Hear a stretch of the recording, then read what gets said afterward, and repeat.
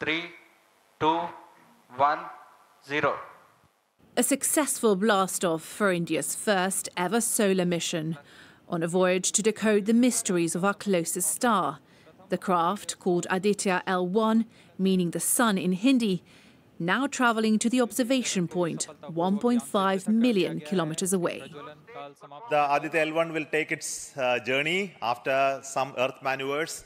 It will start its journey to the L1 point, a very long journey of almost 125 days. So let us wish all the very best to Aditya spacecraft.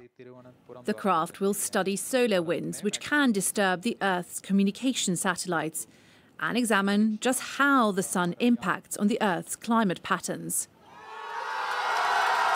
Fresh off another launch just 10 days ago, when India became the first nation ever to land a spacecraft on the moon's southern region. A point of pride for India's Prime Minister and for those watching the launch today.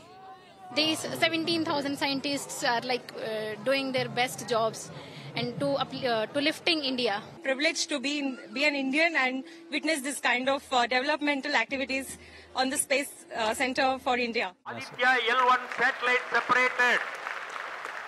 A country spending just a fraction of what the US and China invest in space exploration, but punching well above its weight.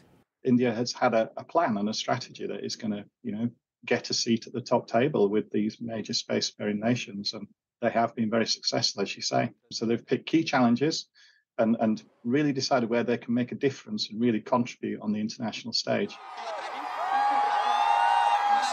A stage that now eagerly awaits what this solar mission might uncover. Milena Veselinovic, Sky News.